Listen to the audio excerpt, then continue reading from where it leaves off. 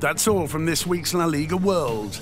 We'll leave you with the best images of one of La Liga's most magical clashes, the Seville Derby. Tension, passion, and 90 minutes of spectacular football, which for the fans of both Sevilla and Betis will continue until the return match.